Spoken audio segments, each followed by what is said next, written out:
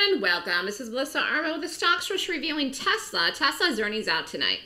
I would say of all the things that are out this week, this month, July, this is the big one.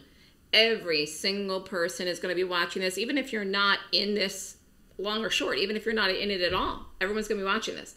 Again, everyone has their own take on this. And it's funny because, again, if you look at the cost of the options, on the put side and the call side, they, I mean, again, they're very expensive doing them into earnings. I just want to, I'm not in this because I don't know what the earnings are going to do. And I don't even know if I'm going to trade it tomorrow. But it may not be a good gap. That's, you know, again, the nice thing about gaps is when I see the gap, that's when I do the rating. That's when I determine where it's going to go. So if I trade it, it'll be tomorrow. And again, the price of the options are so overinflated going in the earnings in both directions. But actually, let me fix this here. Um,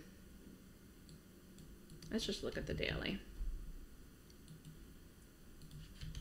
I mean, this could do anything. It's been so long since the stock made new highs. It's crazy, actually. 2021. It's hard to believe.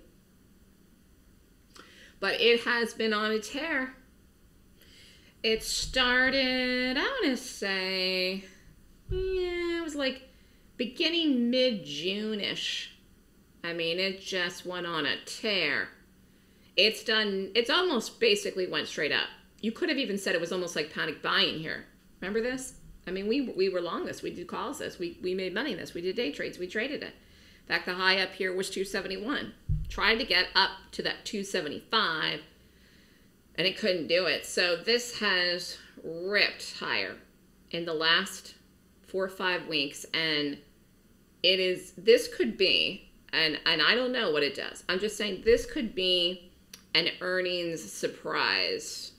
What I mean, it could do something completely insane, meaning it could gap up completely insane and actually then start to make its way up like it's going to make a new high between now and the end of the year. Or it could bomb, bomb and gap down in the earnings and completely tank, fall off a cliff, in which case then it would also bring the market down with it. So this will affect the market. Let's look at the market quick.